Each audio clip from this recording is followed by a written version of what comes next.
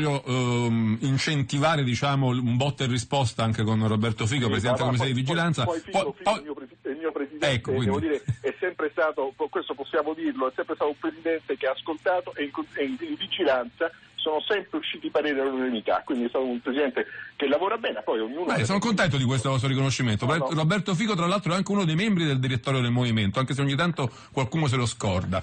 Va bene, torniamo da Roberto Fico e insomma Ranucci sembra molto convinto, molto appassionato e molto fermo nelle sue ragioni. Questa RAI, il, il Parlamento, l'ha salvata o l'ha condannata? Sì, di nuovo buonasera, buonasera. a tutti, a lei, a Ranucci. Allora, vorrei cercare di mettere un po' di un po' d'ordine. d'ordine anche rispetto alla scarica che ho sentito e rispetto a quello che ha detto il senatore Ranucci. Allora, il primo punto è che noi siamo completamente d'accordo al fatto che ci sia un amministratore delegato, che ci sia un consiglio di amministrazione vero e che abbia dei poteri e che l'amministratore delegato abbia oneri e onori e quindi che risponda di, delle sue scelte. E questo è importante che avvenga in RAI con un consiglio di amministrazione forte che levi definitivamente la RAI da un ibrido tra una società pubblica e una uh, società Uh, per azioni e diventi perché lei dice la RAI ancora non è come diceva Ranucci Eni, Enel, Finmeccanica cioè è una, una, creatura un po' diversa ancora. È una creatura diversa, una creatura ibrida e secondo me un consiglio di amministrazione che finalmente corrisponda al codice civile è una cosa sacrosanta che era scritta anche nel eh, disegno di legge eh, a mia prima firma del Movimento 5 Stelle.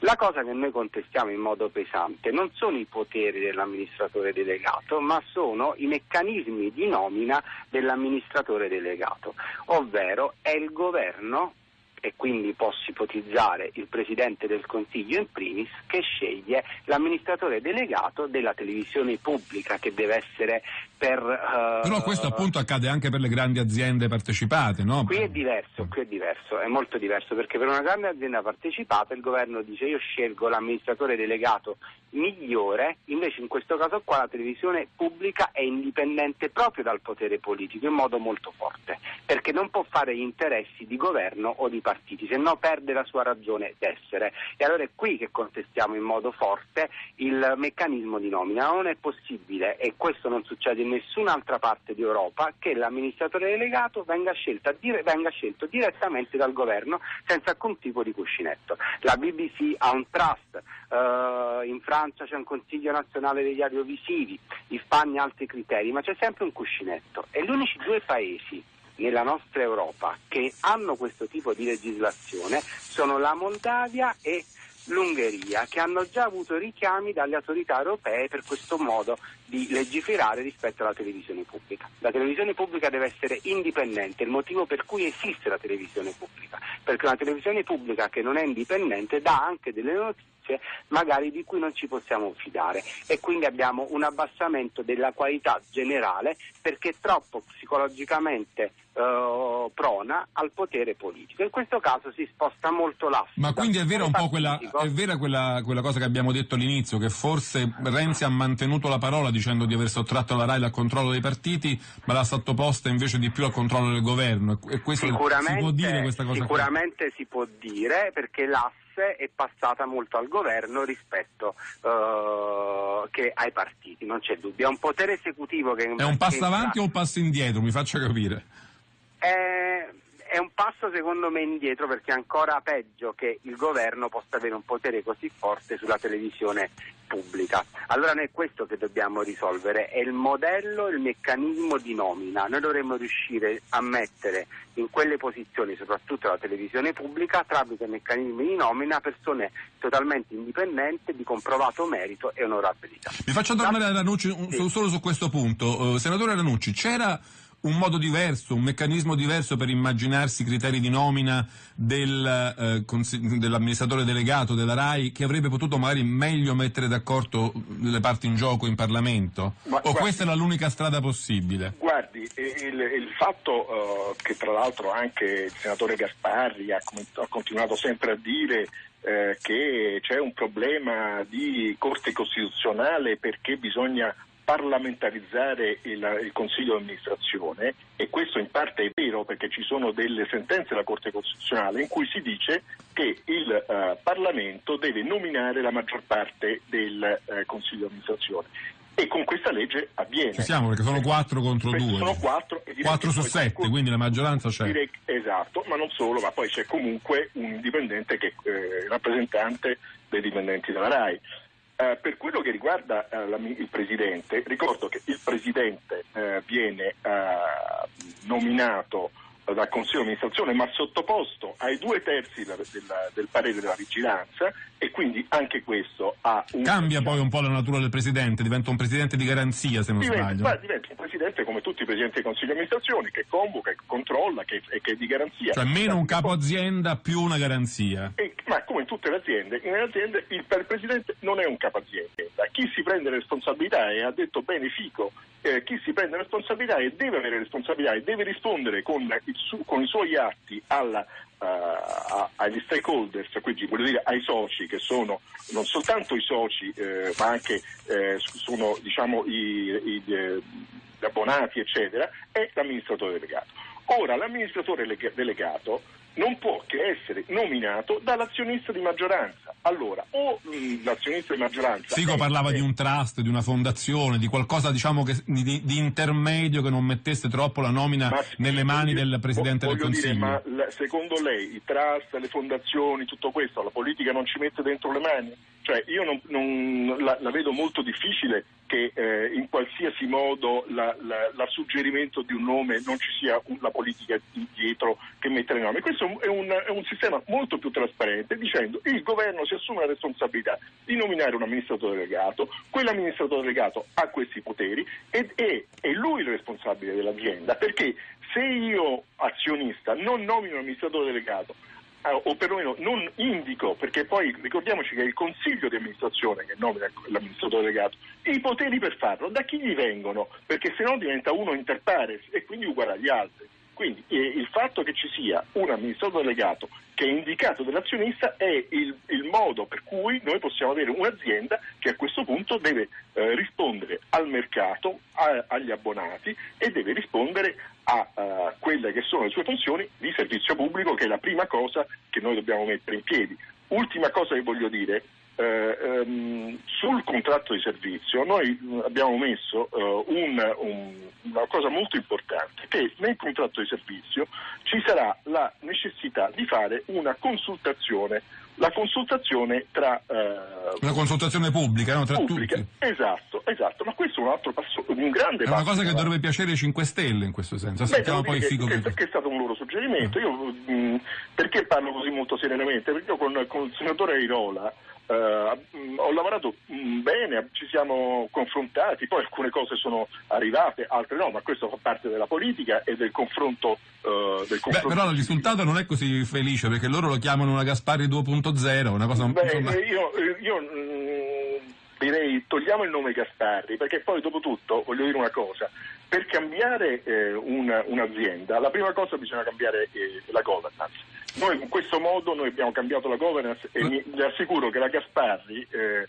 avrà eh, sicuramente, alt- tra l'altro delega, noi abbiamo dato una delega al governo per eh, alcuni interventi una, la, la, RAI diventa anche un'azienda multimediale perché per la prima volta che ho scritto che la RAI è un'azienda multimediale. Ne parliamo, ne parliamo, però prima volevo tornare un momento sì, da Fico perché sì, volevo, chiedere sì. que- volevo, chiederle questo. Eh, mh, quando voi parlate di una legge Gaspari 2.0 cosa intendete? E... Intendiamo proprio il fatto che l'AS invece di, dai partiti si è spostato verso il governo e in ogni caso io non sono d'accordo con Ranucci perché secondo me far nominare l'amministratore delegato dal governo è proprio la, metodo, è proprio la metodologia peggiore. Lei avrebbe immaginato una fondazione, una cosa di questo genere che si intermediasse? Noi, noi abbiamo analizzato un altro meccanismo che prima di tutto, e questo l'abbiamo proposto anche a Ranucci quando era relatore e a Peluffo alla Bonaccorsi quando erano relatori alla Camera dei Deputati, eh, per esempio di avere dei requisiti in positivo e dei requisiti in negativo, cosa che in effetti nella legge non sono assolutamente contemplati. Che cosa è un requisito in negativo? Per esempio per tenere fuori la politica diciamo che chi è stato parlamentare negli ultimi cinque anni non può diventare consigliere di amministrazione. Vabbè, quindi Campo dall'Orto andrebbe bene perché non ha questo requisito mi pare. non ha questo requisito, però dovevamo mettere comunque i requisiti in eh, negativo, anche il fatto che era stato membro del governo negli ultimi cinque anni, che avesse tessere di partito, non poteva assolutamente essere consigliere, diventare consigliere di amministrazione della RAI. E poi i requisiti in positivo, cercare di capire chi può essere consigliere di amministrazione della RAI, che tipo di curriculum, noi avevamo ipotizzato un consiglio di amministrazione interdisciplinare, quindi dove ci potevano essere persone che si occupavano di materie tecnico-scientifiche, economico-giuridiche. Però mi scusi se lo interrompo Fico. Uno e de... questo assolutamente non è stato messo nella legge di... Io ho letto un giudizio molto... Ho, letto un giudizio di Carlo Freccero, che è diciamo, consigliere di amministrazione indicato al Movimento 5 Stelle, sì. che diceva questa legge non ci piace, però Campo Dall'Orto è così bravo, ha un così buon curriculum che magari forse ci porterà qualche buona sorpresa.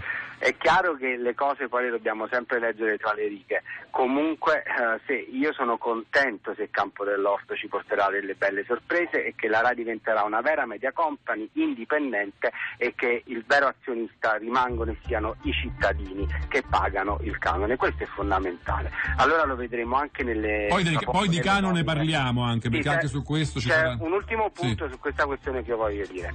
Noi a volte cerchiamo di trovare dei meccanismi attraverso il quale le nomine si facciano in una forma indipendente.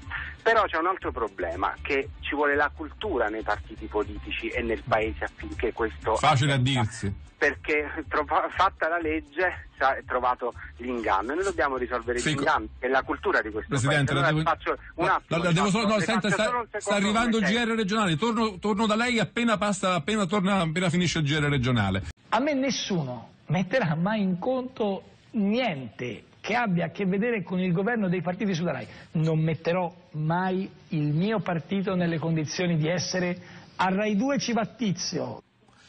Ecco Ranucci, eh, secondo, secondo, lei questa, questa sorta di mh, giuramento di Renzi, non mi troverete mai a dire a Rai 2 Civattizio, Rai 3 Civaccaio, questa riforma ah, lo aiuta a realizzare questa promessa o no? Direi assolutamente di sì, però posso tornare un sì, secondo sui sì, requisiti, siccome sì. eh, Fico parlava dei requisiti, nella legge c'è scritto esattamente il contrario, cioè che ci, ci vuole un equilibrio tra i componenti in, del Consiglio di amministrazione che eh, abbiano professionalità e comprovata esperienza in ambito giuridico, finanziario, industriale, culturale, nonché eh, anche l'autorevolezza eh, le, mm, per, eh, non abbiano conflitto di interessi. E in senso negativo è stato messo per la prima volta che non possono far parte del Consiglio di amministrazione, eh, per esempio, tutti quelli che sono stati ministri o viceministri nei, nei, mesi, nei mesi, precedenti, consiglieri regionali e tutta una serie di nomine che non possono essere fatte. No, questo però non è mai successo in passato, ministri e viceministri beh, che siano diventati mm, beh, direttori beh, generali. Non siccome, me... siccome, siccome parliamo di requisiti, ci sono requisiti positivi e negativi, questo non è stato oh, mai eh, messo o anche eh, ricoperto eh, cariche eh, politiche eh, varie. Quindi voglio dire, eh, non è stato messo quello del, dell'incompatibilità rispetto ai parlamentari e devo dire io sarei stato d'accordo per metterlo, poi all'ultimo momento eh, l'Aula non, questa parte non ha votato. Quindi lei era, era, più, era, più, grillino dei suoi colleghi in questo senso, ma, se così io, si può dire. Guardi, non è, deve essere nemmeno una, una, una, punizione se uno ha fatto il parlamentare che poi non può far parte più di nulla, perché ci sono anche parlamentari... Che diventa una specie di marchio d'infamia, quello è troppo esatto, poi, no? Voglio dire, non, non, non, è, non, è, così, perché ci sono parlamentari che vengono dalla società. Magari Figo sarebbe un fantastico direttore generale della RAI, un fantastico... Mi, ma, ma, certamente, ma, certamente, sì, perché no? Aspetti, torno da lei, Presidente. Se, sì, no, se mi, se mi permettete. Sì, no, doveva anche recuperare una cosa che non le ho fatto dire in tempo prima. Sì, adesso la recupero, rimanendo adesso nel discorso, è che i requisiti anche in positivo sono in generale gli stessi più o meno requisiti che erano scritti anche nella legge Gasparri, quelli, che, quelli, in positivo. Sono criteri autorevolezza, che cosa significa autorevolezza? Sono pochi, poco stringenti, noi li avevamo fatti molto più stringenti con dei curriculum che erano più appropriati, perché fondamentalmente in questo modo Ma più o meno tutti possono diventare consigliere di amministrazione. Il, il campo, eh?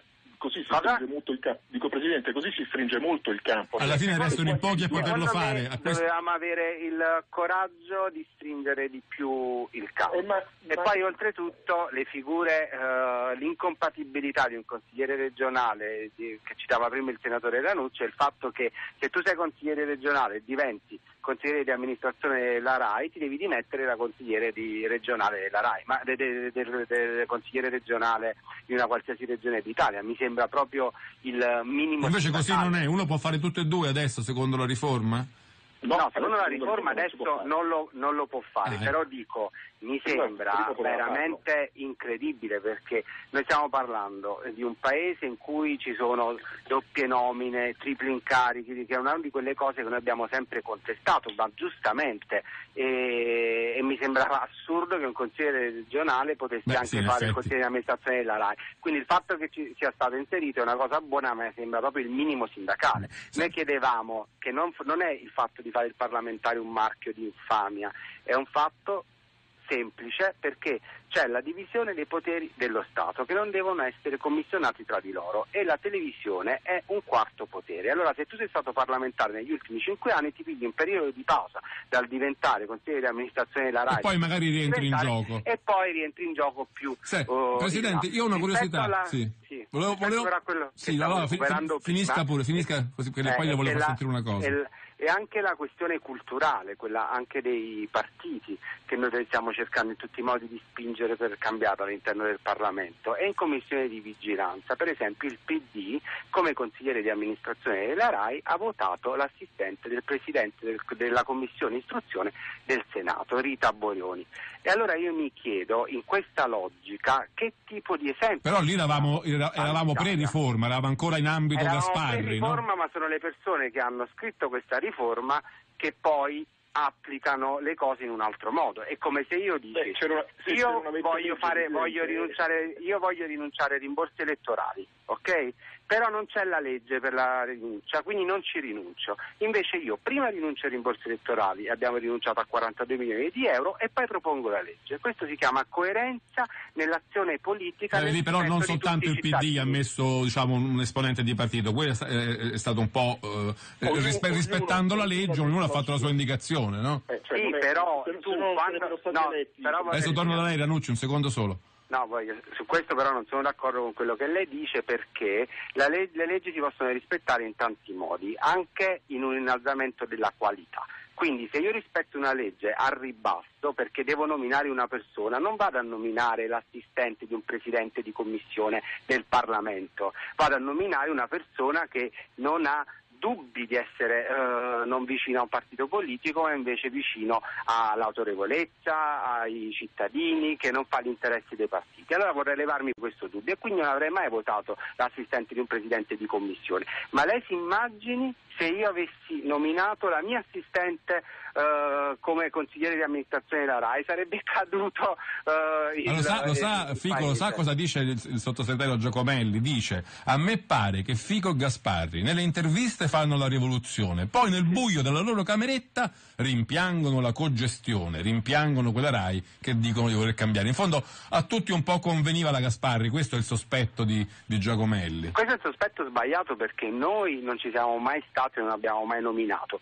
nessuno. In tutte le nomine che abbiamo proposto in Parlamento sono sempre distaccate dal Movimento 5 Stelle, cosa che il partito eh, di Giacomelli non fa ed è chiaro che questa è una semplice provocazione per ammettere quello che non vogliono ammettere, che la RAI fa comodo ai partiti come terreno di conquista e il Movimento 5 Stelle è l'unico, l'unico movimento che si oppone a tutto questo facendo anche delle nomine che sono al di fuori eh, del Movimento 5 Stelle e che vanno vanno nell'ottica dell'innalzamento della qualità e della cultura, è il motivo per cui la RAI nasce, se no non ha senso che esista. Eh, senatore Ranucci, uniamo un altro punto importante di rimente, la decisione di mettere, di far pagare agli abbonati il canone assieme alla bolletta elettrica.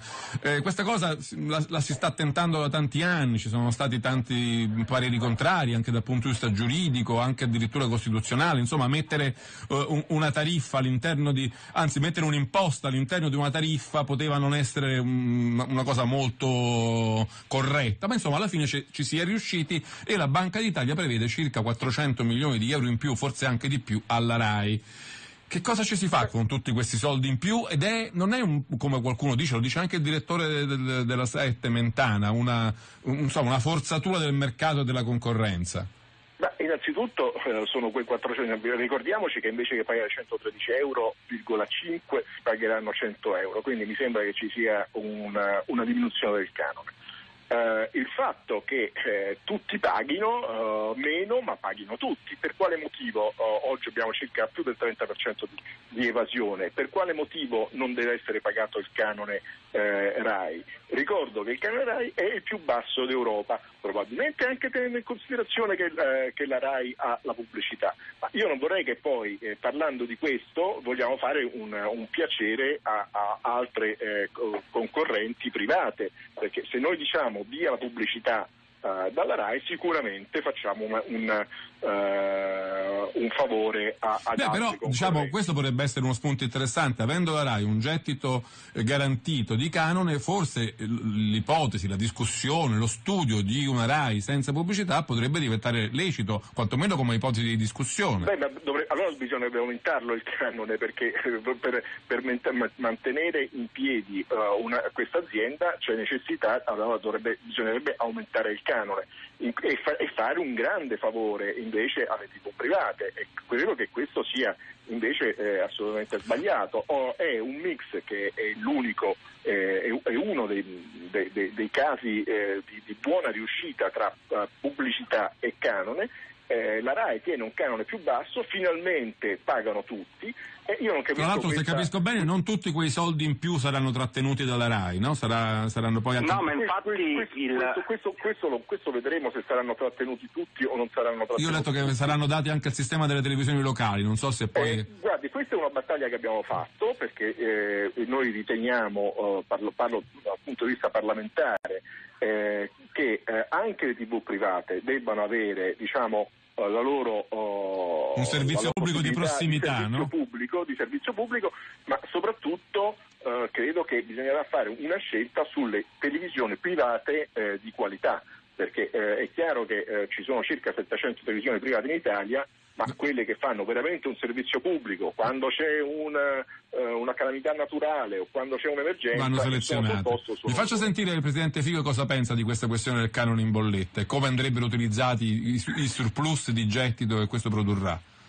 Sì, no, il punto fondamentale è questo, che il gettito aggiuntivo, calcolato in 450 milioni di euro, 500 milioni di euro, la stragrande maggioranza non andranno alla RAI, quindi le persone pensano di pagare il canone, cioè il canone, ovvero il finanziamento alla televisione pubblica al 100%, invece tutto il canone aggiuntivo... Però quella è una norma primo, europea, no? che non è che si, andrà, che si può dare no, qualsiasi cifra alla, al servizio pubblico, bisogna no, che sia commisurata ai servizi che and, vengono resi. No, andrà Ora, questa è una sorta di tassa di scopo, quella della RAI, quindi io pago il canone per pagare la televisione pubblica, finanziare quello. Invece con questo recupero di 450 milioni di euro, il primo eh, andranno la maggioranza di questi soldi recuperati dal canone al fondo per l'abbattimento della pressione fiscale, ovvero a copertura finanziaria delle tasse che il governo Renzi vorrebbe elevare e quindi per coprirne una parte ci mette il canone RAI preso dai cittadini. Questo secondo me è un assurdo. Poi andranno le televisioni private e poi una parte dovrebbe andare alla riduzione del canone per uh, le persone che sono avanti con l'età, gli anziani. Allora fatto in questo modo è un abominio perché tu prendi soldi per finanziare la televisione amministrazione pubblica senza che i cittadini lo sappiano e lo butti su un altro fondo che poi lo Stato potrà utilizzare alla fine in qualsiasi modo. Era una cosa che non era mai successa e questo è molto grave, io credo. E poi il fatto delle televisioni pubbliche, il finanziamento delle televisioni private, fatto così non ha senso. Io pago la TV pubblica per finanziare le televisioni private e anche questo giro. Ranuccio, qui mi sembra che con Figo proprio non vi siate intesi, eh? No, no ma voglio dire, ma un, un momento, un momento. Figo, Figo si, si dimentica che fino ad oggi le TV private sono sempre state finanziate finanziate con dei, con dei fondi appositi, quindi non è che, che eh, è una cosa nuova che vengono no, finanziate le TV. Secondo me la cosa nuova Torno da lei, Fico, tra un secondo. Le private è arrivare a dire ci sono solo quelle di qualità, perché quelle che fanno soltanto tutto il giorno eh, pubblicità per eh, quelli che fanno i cartomanti o altre Però cose. Però l'obiezione di dire il, il, diciamo, l'abbonato, comunque il cittadino, pensa di finanziare la RAI, invece poi quei soldi vanno nella fiscalità generale, è un'obiezione sensata, mi pare. No, eh, io direi innanzitutto Uh, comunque se eh, una parte di quel fondo verrà usato uh, per abbassare comunque li, eh, le imposte, comunque eh, ben venga perché verrà, verranno abbassate le imposte. Second, seconda cosa, se oggi eh, la RAI avrebbe dovuto incassare il 37% in più, eh, con l'abbassamento del, del, del, del, canone e il fatto che lo paghino tutti, mi sembra che sia un'equa ripartizione, perché eh, oggi eh, molti evadono e domani non evaderanno probabilmente solo il 5% e mi sembra strano che una volta tanto non si tenga in considerazione che c'è una riduzione di tasse e il fatto che paghino tutti.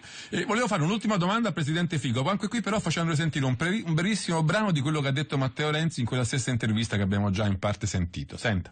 E difendiamo anche il ruolo della Commissione parlamentare di vigilanza che in molti volevano eliminare. E io invece sono perché il Parlamento vigili e controlli. Eh. Cioè, la proposta 5 Stelle è per l'abolizione della Commissione parlamentare di vigilanza, sbaglio? No.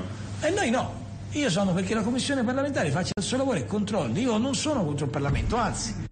Insomma, Presidente Figo, qui Renzi si fa paladino della sua commissione e anche della sua presidenza a questo punto. Dice questa riforma eh, aumenta e, e rivaluta il ruolo della commissione di vigilanza. Invece i 5 Stelle la vogliono chiudere. Così stanno le cose?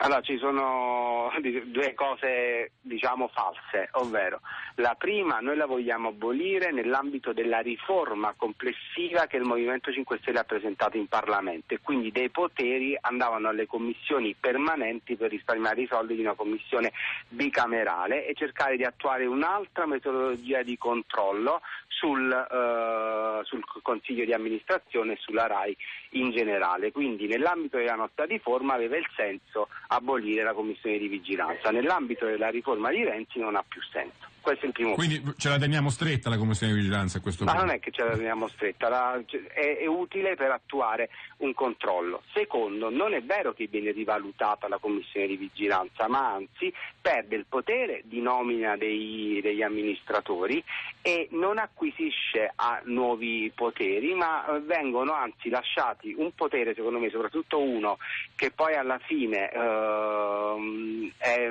un potere molto limitato, che ovvero è quello di esprimere un parere sul contratto di servizio. Ma questo parere non è vincolante poi nel momento in cui viene approvato. Infatti, dopo sette mesi e mezzo di lavoro della vigilanza, anche se il nuovo contratto di servizio, il parere votato all'unanimità, e questo Ranucci lo sa bene, sia la RAI che il Ministero dello Sviluppo Economico hanno voluto procedere alla sottoscrizione del contratto e ci troviamo con un contratto vecchio che è in prorogazio e questo è per colpa del governo e della RAI, dopo un lavoro eccezionale della commissione di vigilanza. Allora a questo punto io avrei detto che questo parere non è solo obbligatorio ma è anche vincolante, quindi non è vero che i poteri sono stati aumentati ed è stata rivalutata.